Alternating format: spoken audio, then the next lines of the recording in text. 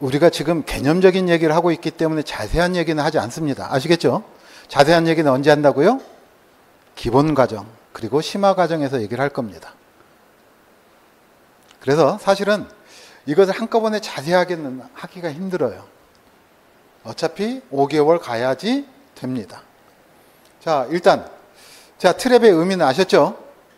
당장에 암기는 안 되겠지만, 대략적인 의미는 아실 거예요. 그 정도로 하면 돼요. 지금은. 그리고 이 트랩에는 뭐가 있다? 사이펀식 트랩도 있고, 비사이펀식 트랩도 있다는 것까지 알았어요. 그 다음, 특수한 트랩으로는 뭐가 있냐면, 저집기라고 하는 게 있어요. 트랩의 역할도 하고, 뭔가를 걸러주는 역할도 해야 되겠다 이런 얘기입니다. 가령 미장원이나 이발소 같은 머리카락이 많이 생기겠죠? 근데 이것이 배수구로 유입되는 배수관을 막을 수 있겠죠. 그러니까 머리카락은 걸러주면서도 동시에 트랩의 역할을 해야 되겠네요. 그러면 이것을 우리가 뭐라고 할 거냐면 헤어 트랩이라고 할 거다 이런 얘기입니다. 아시겠죠? 그럼 토사 유출이 많은 곳은 또 뭘 해야 될까요? 토사를 걸러줘야 되겠죠? 안 그러면 또 막, 막힐 거 아니에요. 그러면 이거 뭐라고 할 거다? sand 조집기라고 합니다. 또는 포집기라고도 얘기를 해요. 영어로는 interceptor라고 합니다. 자, 또는 우리 식당 육수를 많이 뽑아내는 곳. 자, 뼈를 고아요. 그러면 위에 기름 뜨죠. 끓일 때는 이것이 액체지만 식으면 고체가 되는 거 아닙니까? 그래서 어, 고체가 되니까 포화지방이 몸에 나쁘다 뭐 이런 얘기도 많이 하죠. 근데 요즘은 포화지방이 나쁘지 않다 이렇게 얘기를 해요. 먹어도 괜찮다. 그게 전부 사기였다. 뭐 이런 얘기를 합니다. 자, 어쨌든 그 얘기는 중요한 게 아니니까. 그럼 식당가에서 이것을 그냥 버리면 배수관 맞겠네요. 그러면 그런 지방을 걸러주고 물만 내려가도록 하는 것이 그리스 저 짓기라고 한다. 뭐 이런 것들이 있다. 이런 얘기입니다. 자, 그래서 이런 것들은 그런 종류만 대충 알면 되겠고, 어, 시간이 해결해 줄 겁니다. 자, 트랩의 종류도 봤습니다. 사실은 여기서 조금 더 할 얘기가 있지만, 요 얘기까지 이 정도만 하고, 자, 뭐가 나왔어요? 트랩의 구조가 나와 있죠. 지금 P트랩으로 되어 있는 S트랩이 아니라, 여기서 여러분들이 명칭을 좀 알아둬야 돼요. 그래서 실무에서는 요거 가로넣기가 나왔다.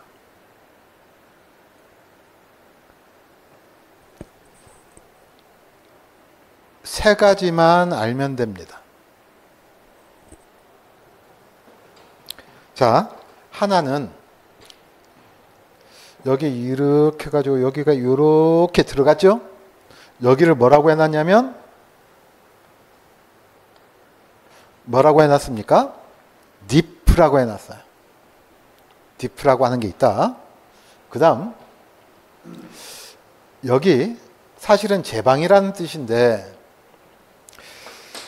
요 용어는 심히 불만이 많습니다. 뭐라고 되어 있습니까? 웨어라고 되어 있죠. 사실은 영어 알파벳을 쓸 텐데 여러분들이 요것의 알파벳의 단, 발음이 어떻게 될까를 생각을 해봅니다. 딱 이렇게 써놓으니까 여러분들이 보시기에도 어때요? 웨어라고 발음할 것 같죠? 실제의 발음은 위어입니다. 그래서 이게 문제가 되는 게요. 자, 건축공사 설계가 있고요. 건축 설계 기준이 있고, 그 다음에 건축공사 표준 시방사라고 하는 게 있어요. 그러니까 건축학회에서 설계를 할 때 특정한 기준이었으면 이 기준으로 해라 이런 얘기예요. 설계를. 그리고 시공도 특정한 기준이 따로 정해하지 않았으면 이대로 하는 게 좋겠다. 그게 표준 시방서예요. 그래서 때때로는 그 기준을 기준으로 우리 시험 문제가 나옵니다. 그런데 60점을 맞는 데 있어서는 여러분들이 그냥 딸랑 60점만 맞겠다 이럴 때는 일부분은 조금 어려운 부분은 안 해도 상관이 없어요. 그러니까 설계 기준과 표준 지방서를 우리가 정말 죽으라고 잘 알아야 되지는 않습니다. 강박 갖지 말라고요. 이해가 됐습니까? 물론 이 속에 우리가 우리 기본서 나오면 그 속에 시험 문제에 나올 만한 설계 기준과 시방서를 올려놓겠지만 굳이 할 필요는 없다.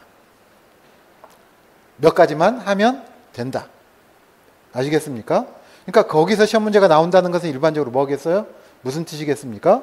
고득점 하지 말아라는 뜻으로 이해를 하면 된다. 그 대신 그런 것이 있는 줄은 알아야 되겠죠. 그래야 소장할 거 아닙니까? 아, 적어도 아파트 관리 소장 그러면 장자 들어가는 거 아니에요. 그러면 이걸 아무나 뽑으면 되겠습니까? 안 되겠습니까?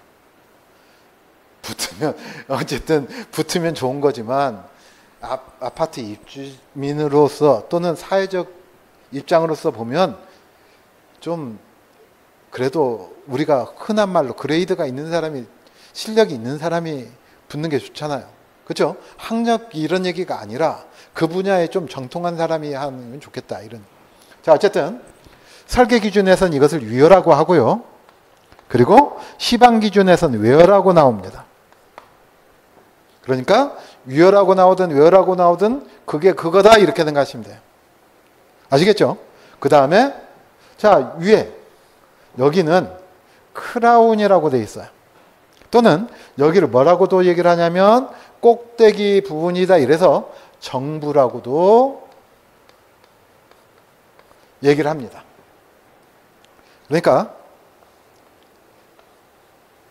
우리 정수리 뭐 꼭대기 할 때 정상 이럴 때 정자를 써요. 그래서 자 뭐가 있다? 디프가 있고 외어나 위어가 있고 그리고 뭐가 있다고요? 크라운 또는 뭐가 있다? 정부라고 하는 말이 있다. 그럼 시급하게는 요거하고 디프를 보는 거예요. 자 이게 뭘 뜻하느냐면 봉수 깊이를 얘기를 할 때 어디서부터 어디까지냐? 그러면 위어에서부터 어디까지?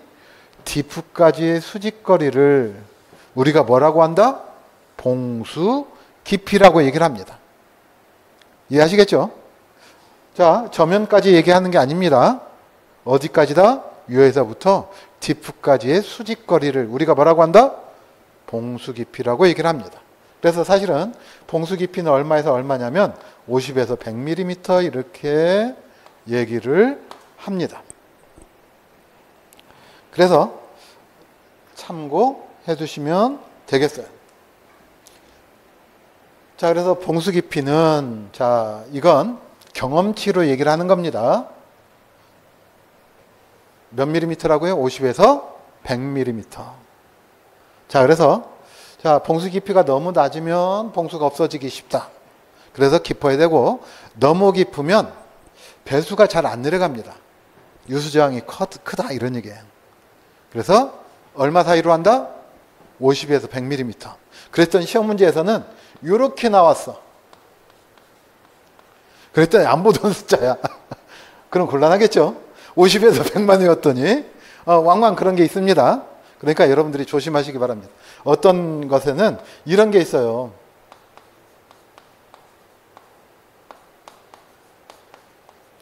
이런 숫자가 있는데 시험 문제는 어떻게 나왔냐면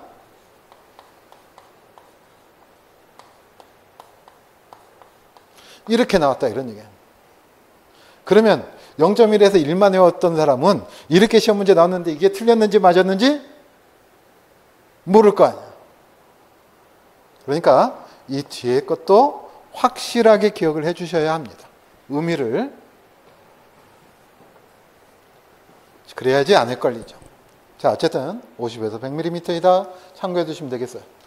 자, 베스트랩에 해당하는 것, 뭐 이런 것도 나왔는데, 자, 금방 우리가 뭘 봤었냐면, 피트랩 이런 거 하나는 봤네요. 그쵸? 사실은 여기에다가 이제 그리스 트랩도 봤네. 그리스 저직기. 사실은 드럼 트랩과 벨 트랩까지 얘기를 할 수 있지만 일단은 아, 이런 식으로도 문제가 나오더라 이렇게 생각하시면 돼요. 이건 사실은 딱 보니까 이런 문제는 쉬운 문제다. 자, 이제 통기관을 얘기를 합니다. 자, 이런 얘기입니다. 앞에서 배수관에 대해서 얘기를 했는데, 자, 사실은 상수가 들어오고,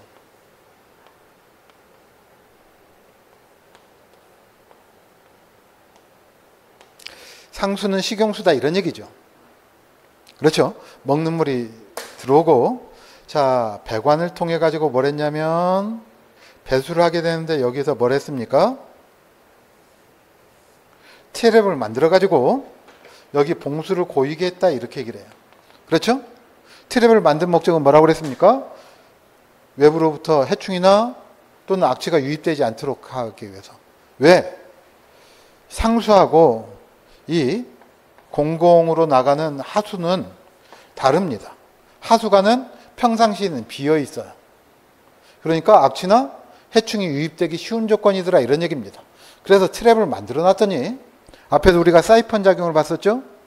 사이펀 작용 등에 의해서 이 봉수가 빠져나가 버리더라 이런 얘기예요. 그러면 이제 우리가 생각해야 될 것이 있죠. 어떻게 하면 봉수가 없어지지 않고 봉수를 유지시킬 거냐 이런 얘기예요.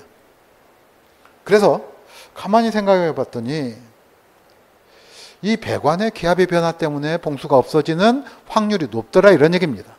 그러니까 여러분들 사이펀 작용하는 것 우리가 보통 옛날에 기름 넣는 튜브가 있었죠. 보통 자바라관이라고 해가지고 이렇게 돼 있는 거 있었지 않았습니까? 그렇죠? 이거 해가지고 몇 번 하면 물이 기름이 한 번 넘어가기 시작하면 모를 때는 죽으라고 끝까지 다 하지만 아는 사람은 한두 번 하면 높이만 맞춰놓으면 계속 넘어가죠. 그럼 이거 멈추고자 할 때 어떻게 합니까? 모르는 사람이 이거 그냥 뽑아요. 그럼 기름이 쭉 나오죠. 근데 여기 벤트만 풀어주면 공기만 통하면 넘어가는 게 멈추죠. 마찬가지다 이런 얘기예요.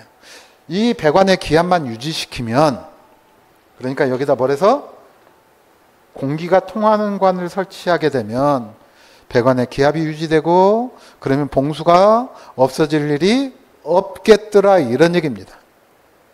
자 이것을 뭐라고 한다? 통기관이라고 얘기를 합니다. 그래서 통기관의 설치 목적은 자 이렇게 얘기를 합니다.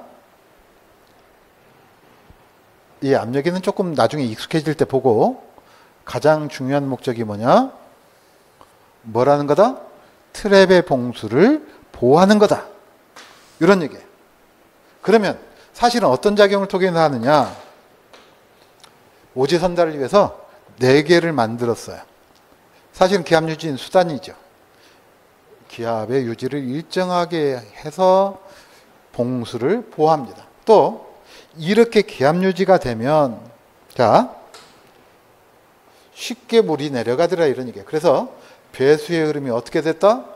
원활한 흐름을 갖게 되었다 이런 얘기입니다. 자, 배수가 원활하게 되도록 하는 것도 중요한 역할이죠. 자, 또 한 가지는 이 내부에 악취가 많이 발생을 하죠. 그런데 통기관이 있으면 자, 악취 등을 어디로 실외로 배출하기 때문에 관내에 뭘 유지할 수 있다? 청결을 도모할 수가 있게 되더라. 자, 관내 청결, 그 다음 흐름의 원활, 기압 유지, 그리고 뭐다? 봉수보다. 이거 조금 생각, 가만히 생각해 보면 생각해낼 수 있는 거죠? 그러니까 이걸 죽으라고 암기하는 게 아니라 일단 이해를 해 놓는 것이 중요하다. 자, 아시겠죠? 이게 무엇의 목적이다? 통기관의 목적이다. 자, 그럼 이거 시험 문제 나왔겠어요? 안 나왔겠어요? 당연히 나왔겠죠. 자, 틀린 것을 골라라. 맞는 것을 있는 대로 고르시오. 뭐 이렇게 해서 시험 문제에 나온 적이 있다. 자, 그러니까 이런 것들은 생기초다. 자, 그러면 통기관의 종류를 살펴보자. 이런 얘기입니다. 아, 그 전에 종국유속이라고 하는 말이 있습니다.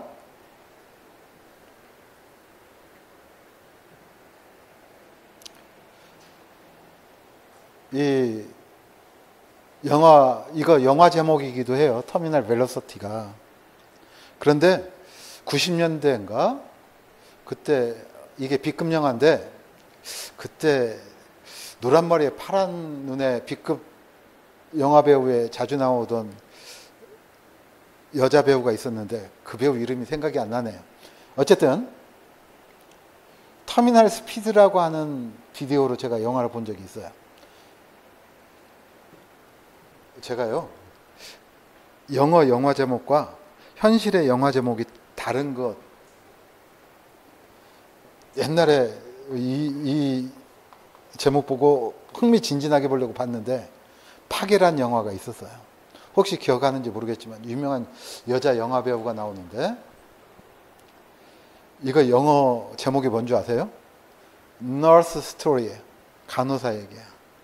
수녀가 간호사 일을 수행하는데 옛날에는 카톨릭이 철저해가지고 3시에는 기도를 드려야 돼.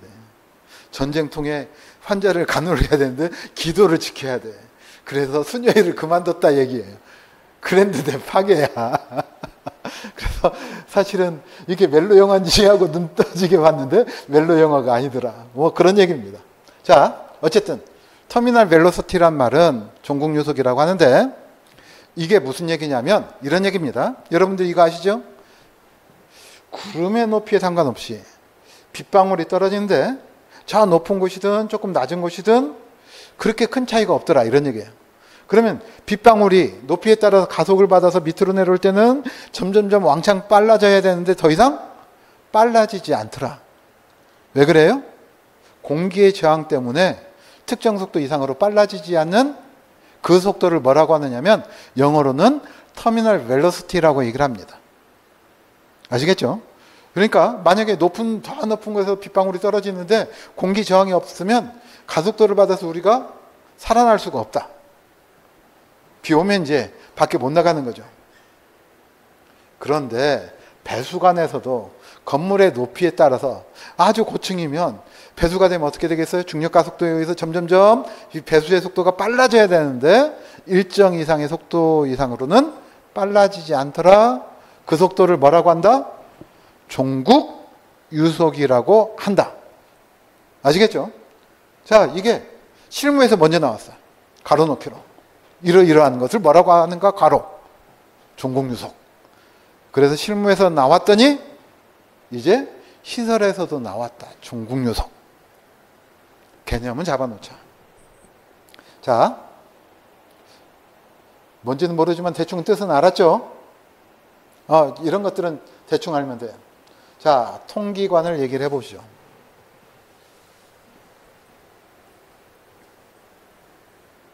자, 봤더니 일단 이름부터 보자고요. 무슨 통기관이 있습니까? 신정 통기관 있죠? 그 다음 각계 통기관이 있죠? 그 다음에 또 뭐가 있습니까? 루프 통기관이 있네요. 일단 중요한 것은 이 세 가지예요.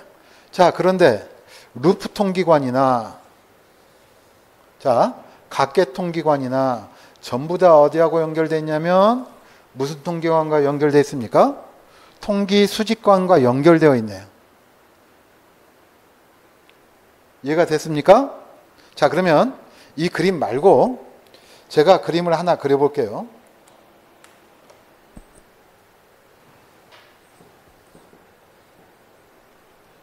자, 이런 얘기입니다. 자, 작은 건물은, 작은 건물은 여러분들도 작은 소망이 건물주십니까?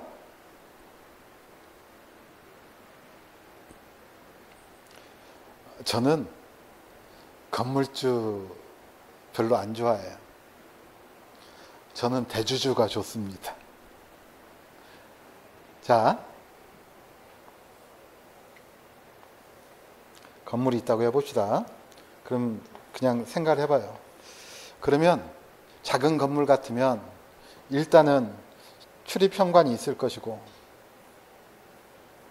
그렇죠? 작은 건물은 꼭 출입 현관이 정문이든 뭐 해가지고 여기 계단실이 이렇게 작게 있을 거예요. 여기 계단이. 그렇죠? 그리고 통상적으로 여기에 화장실이 있습니다. 그죠? 그러면 화장실이 있다는 얘기는 자, 그러면 화장실의 구성을 한번 봐봐요. 세면기가 세면대가 몇 대? 하나. 화장실 몇 개? 하나. 잘하면 남자 소변기 하나. 이렇게 두죠. 그러면 이때 배수관은 복잡해요, 간단해요. 간단하죠. 그러면 자, 배수관이 이렇게 가는데 무슨 색깔 나올까요? 빨간색으로 해봅시다. 그러면 배수관이 간단하게 하고 여기 연결되는 관도 그렇게 길지 않겠네. 트랩도 많지 않고.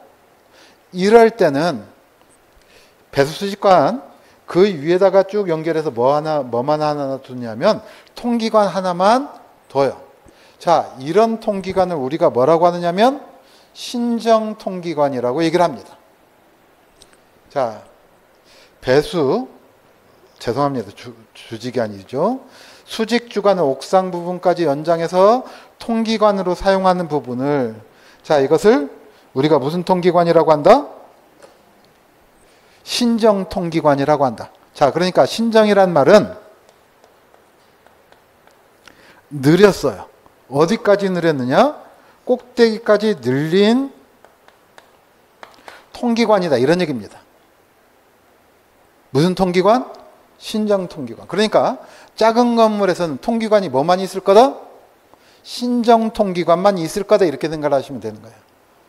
이해가 됐습니까? 그런데 그런데 제가 과거에 어, 많이 가는 공원이 어디였냐면 보라매 공원이에요. 저쪽 신대방동 건너편에 보라매 여기 있고 그쪽으로 옛날에 공사 자리에 보라매 공원 있죠?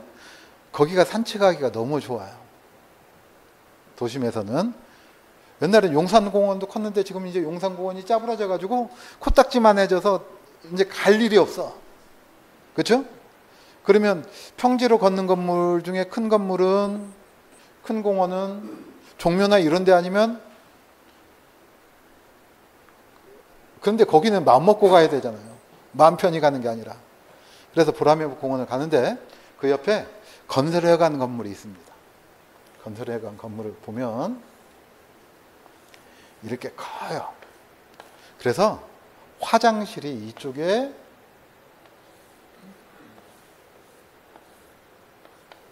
층마다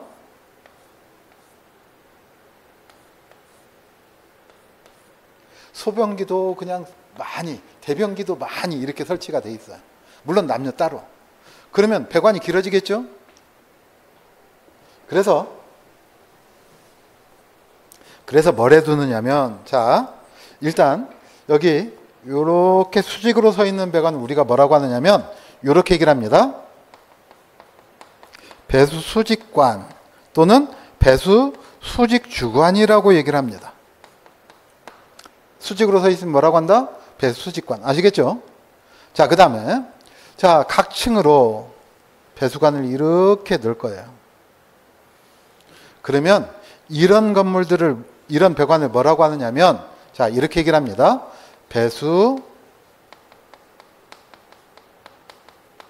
수평 지관이라고 합니다.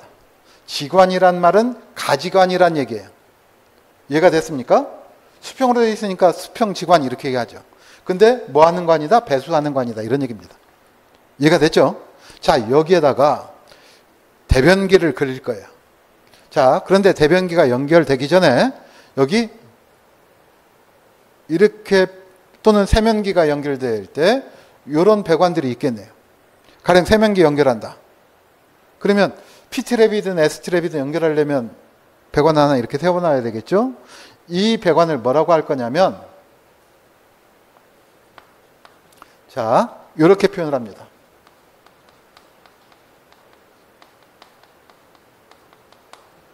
무슨 배관이 있다? 기구 배수관이 있다. 자, 그러면 물이 흘러갈 때 어떻게 갑니까? 기구 배수관, 배수평지관, 그 다음에 배수직관 또는 수직주관. 그리고 여기 이제 수직관이 여러 개 있으면 여기 자 뭐가 가겠습니까? 배수 수평 이관은 무슨 관이겠어요? 그렇죠. 아, 몰라도 찍을 수가 있잖아. 이렇게 흘러나간다. 이런 얘기입니다. 자, 이런 관이 있고 명칭은 이렇게 생각하시면 되겠고요. 자, 여기다가 이렇게 그려볼게요. 여기 세면대가 있다면 피트랩이라고 얘기를 해보자고요.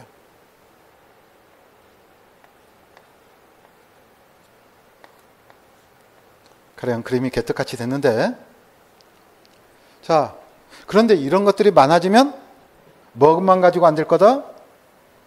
신정통기관만 가지고는 안 될 거다 이런 얘기예요. 아시겠죠? 그러면 신정통기관만 가지고는 안 되면 일단 뭘 세워두느냐면 자 이거 뭐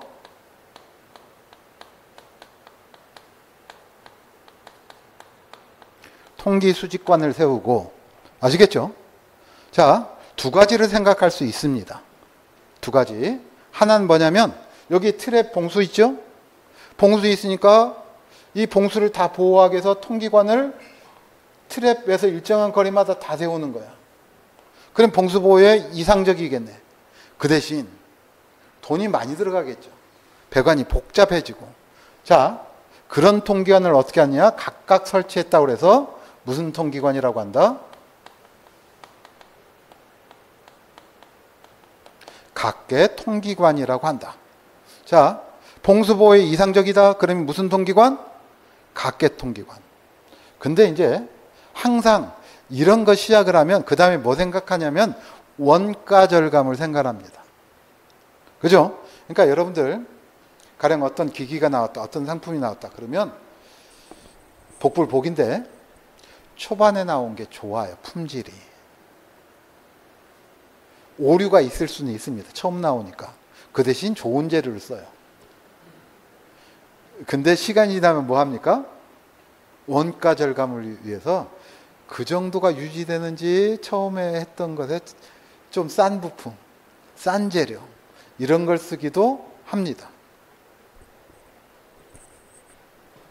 옛날엔 그랬어요. 그러니까 근데 겉보기에는 성질이 같거나 조금 떨어져 눈에 표시 안 날 정도로. 자, 여기도 마찬가지예요. 여기 이렇게 있으면 지금 이제 이렇게 세면대가 있다고 해봅시다. 그러면 자 이렇게 얘기를 하는 거예요. 음. 자 영어로 loop vent pipe라고 합니다. 루프 통기관이라고 하든지 또는 영어로 circuit vent pipe, circuit을 우리말로 번역하면 회로 이렇게도 얘기를 합니다. 또는 루프를 자, 이 루프를 우리말로 하면 고리, 환이란 뜻이죠. 그래서 고리 형태의 통기관이다, 환상 통기관이라고도 얘기를 해요. 자, 그래서 하나의 통기관으로 두 개에서 여덟 개 이내의 트랩의 봉수를 보호하기 위해서 설치합니다. 어디에 설치하느냐? 그랬더니, 자, 일단 말을 해놓고 그림을 그려드릴게요. 배수평지관의 최상류 기구의 하류 측으로부터 통기관을 세워서 입상한다는 말은 세워서 통기 수평지관으로 하며 그 말단을 통기수직관에 접속하는 방식이다. 자, 지금 여기 뭐가 있습니까? 배수평지관이 있죠?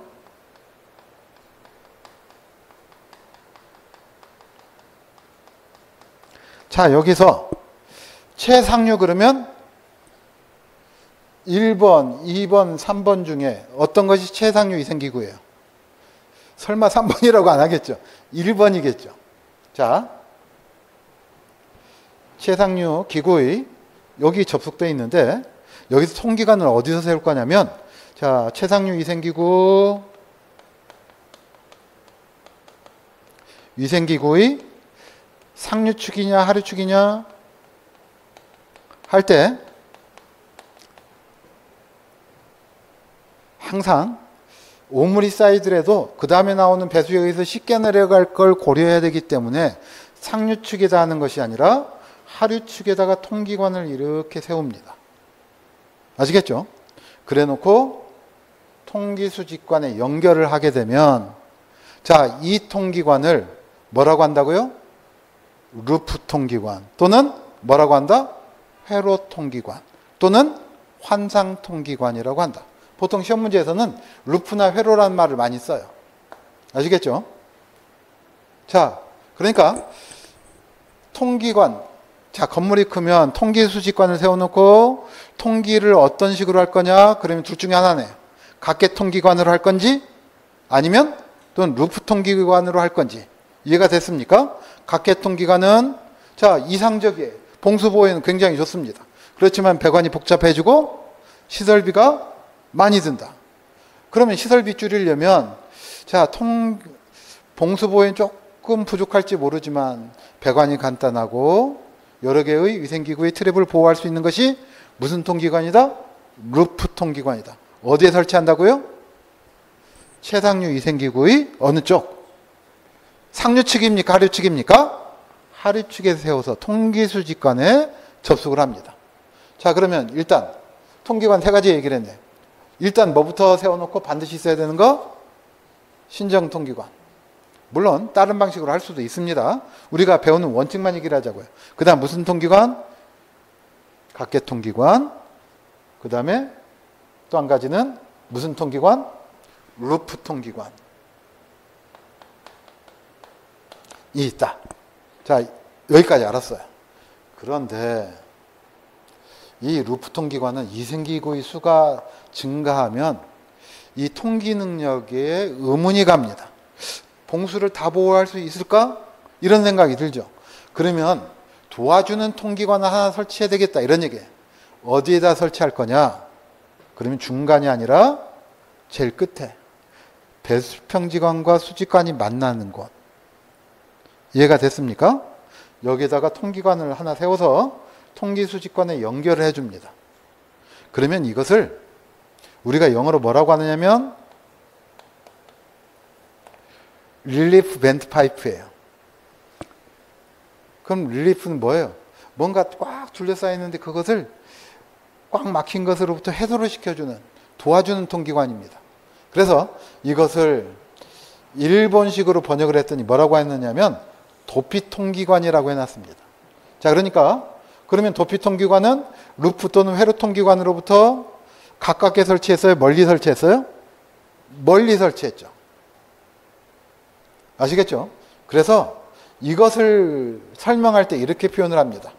회로 통기관의 통기 능률을 촉진시켜준다 이렇게 얘기를 해요. 통계를 도와준다는 말을 이렇게 시험 문제 지문에서는 사용을 합니다. 아시겠죠? 회로 통계가 가지고는 부족하니까 뭘 설치했다고요? 도피 통기관을 설치한다. 아시겠죠? 그러면 어디에 설치하느냐? 그랬더니 배수평지관 체하류 기구, 체하류 기구, 접속점 바로 및 하류에서. 그러니까 이 표현을 이해하자 이런 얘기예요. 이렇게 써놨더니 이게 당최 무슨 말인지 몰라. 시험 문제 지문에서. 그림은 이해했는데 이 말이 무슨 말인지 모르면 곤란하겠죠. 왜 지금 하느냐? 왜 이걸 지금 강의를 하느냐면 여러분들 머리가 복잡한 줄 알겠지만 이걸 정규 강의 때 하면요. 회계하고 민법하니라고 공부를 안 해. 그래 놓고는 시험 임박해서 이것들을 암기하려고 막 합니다.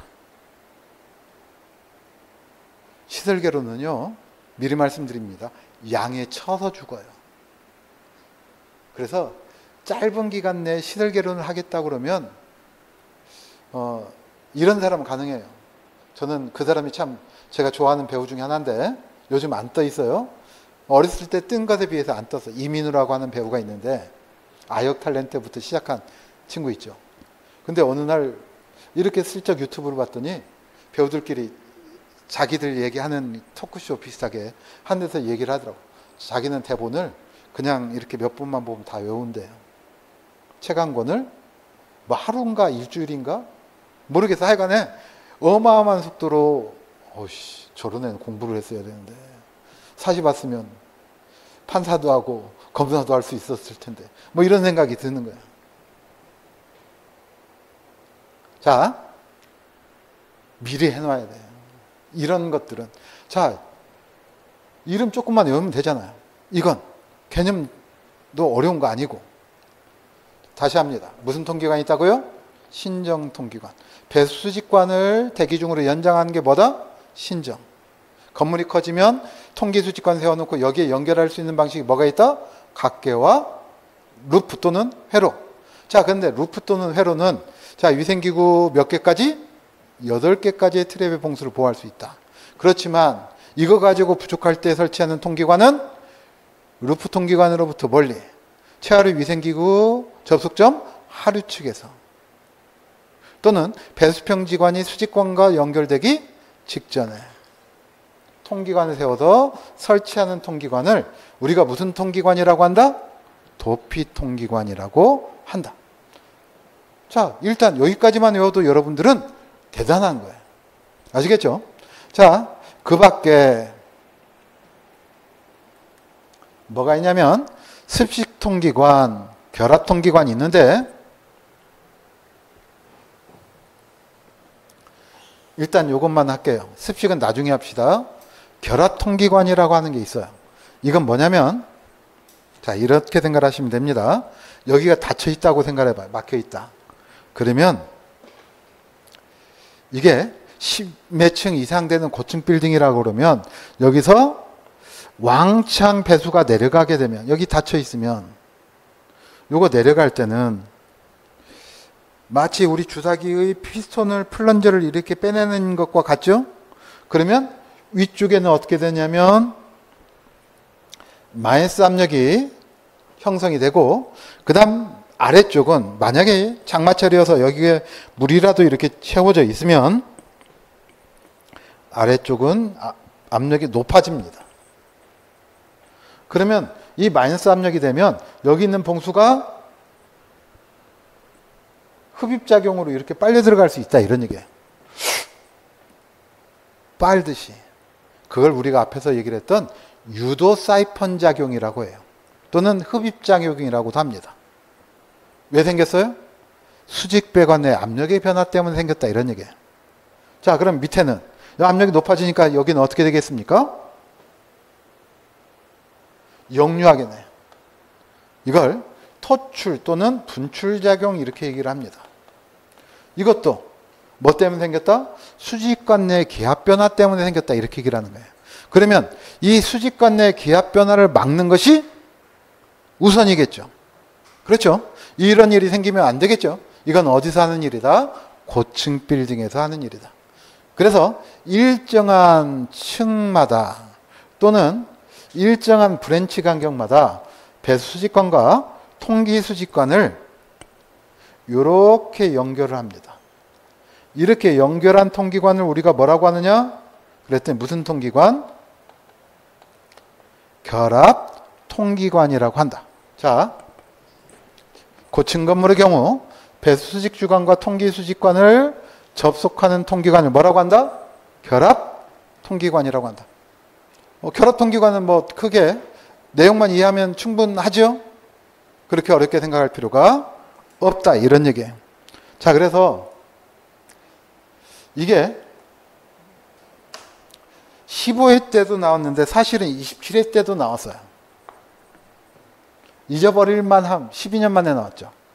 자, 봐봐요. 배수 직관 내 압력 변단을 완화할 목적으로 배수 수직관과 통기 수직관을 연결하는 통기관? 그러면 이건 이거 문제 보는 즉시 1초 내에 찍을 수 있죠. 이런 걸 가지고 따복따복 얘기할 필요 없죠. 여기만 봐도 어디만 봐도 여기 수직관 내 압력 변동 완화 그러면 바로 나와야 되죠. 무슨 통기관이다? 결합 통기관이다. 이렇게 나와야죠. 물론 자 28회 때 내년에는 안 나올 겁니다. 그러니까 우리는 그거 말고 뭘 해야 되겠습니까? 신정통기관, 각계통기관, 회로통기관 또는 루프통기관 또 뭐가 있다? 도피통기관. 이것부터 여러분들이 생각을 해 놓으셔야 되겠죠. 자, 이제 안 나온다는 얘기는 아닙니다. 이렇게 형태로 안 나오겠죠. 다른 형태로는 나올 수가 있습니다.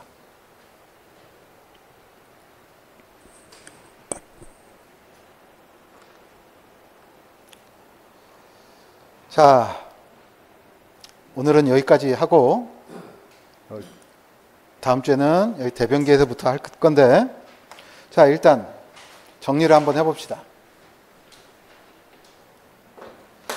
제가 오늘 여러분들이 반드시 아셔야 되는 것이 있었다. 몇 가지를 얘기를 했어요. 그렇죠? 뭐가 있었습니까? 제목만 한번 써봅시다. 첫째 시간은 뭐 밀도하고 비체적 가지고 얘기를 했으니까 압력 가지고 얘기를 했으니까 그러면 일단 뭐라도 알자. 압력의 정리 정도는 여러분들이 숫자는 조금 생각을 해 주셔야 되겠죠? 머릿속으로 압력과 관련해서 일단은 다른 거 기억 안 나더라도 1m AQ는 얼마다? 9.8 킬로파스칼이다. 이 정도는 알아야 되겠네. 여기 밑에 있는 것도 여러분들이 정리를 좀 하셔야 됩니다. 아시겠죠? 그 다음 두 번째는 자 다른 건 몰라도 이건 기억하자. 요랬었던 것이 뭐가 있었습니까?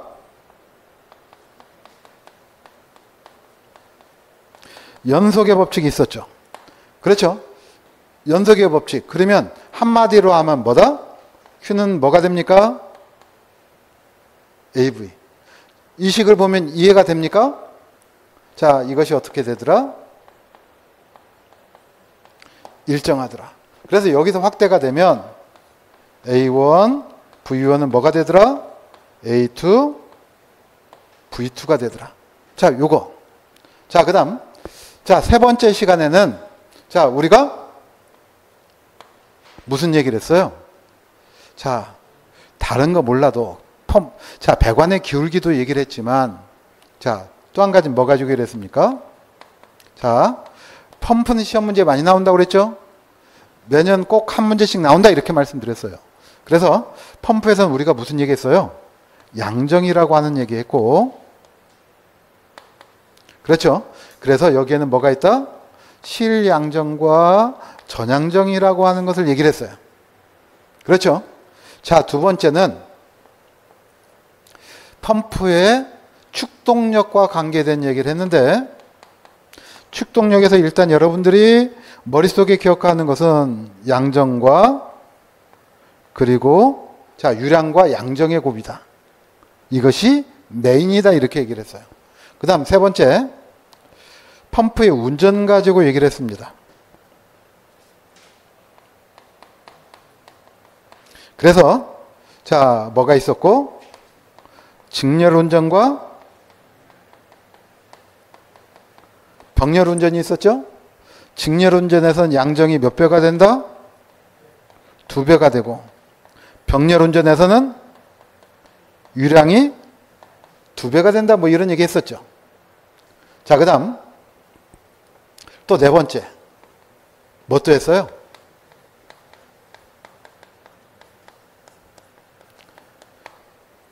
캐비테이션도 얘기를 했습니다. 그래서 배관 내의 압력이 뭐보다 작을 때? 포화 증기압보다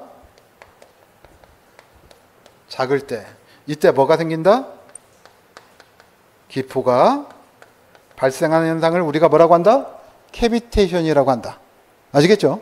그래서 배관 내 압력이 떨어지면 떨어질수록 캐비테이션이 발생하기 쉽다. 그 말은 무슨 얘기다? 펌프의 회전수가 빠르면 빠를수록 캐비테이션이 발생하기 쉽다. 또 수온이 높으면 포화 수증기압이 증가하기 때문에 자 수온이 높으면 높을수록 캐비테이션이 발생하기 쉽다. 요 얘기했죠. 그렇죠? 자 그다음 이제 선의 길이가 있으니까 자 그다음 네 번째 자 무슨 얘기했습니까? 트랩 다섯 번째 무슨 얘기했다? 통기관. 그래서 자 우리 통기관에 대해서는 목적하고 그 다음에 종류에 대해서 살펴봤어요. 트랩도 역시 마찬가지로 목적, 그 다음 종류 간단하게, 그 다음에 또 한 가지 멋에 대해서 봉수에 대해서도 봤습니다. 자, 봉수의 깊이가 얼마다? 50에서부터 100mm다. 어디에서부터 어디까지 수직거리를 얘기를 한다? 웨어에서부터 디프까지의 수직거리를 얘기를 한다. 뭐 이런 것들 우리가 한번 봤습니다. 아시겠죠? 그러니까 다른 건 못해도 자, 이 정도는 여러분들이 머릿속으로 제일 중요한 것은요. 여기서 배, 공부는 뭐든지 마찬가지입니다. 배웠으니까 딱 덮는 게 아니라 여기까지 정리하는 데까지가 일련의 과정이에요. 동영상을 봐도 동영상 봤다고 만세 진도 나갔다 이러지 마시고 그 다음에 중요한 것은 정리를 하는 것이 중요합니다. 아시겠죠? 자, 그래서 이제 첫날 시작이니까 어, 저만 믿고 따라오시면 좋은 점수 받을 수 있습니다. 아시겠죠? 특히 언제? 수업 때 열심히 하자. 자, 오늘 여기서 마치도록 하겠습니다. 자, 수고하셨습니다.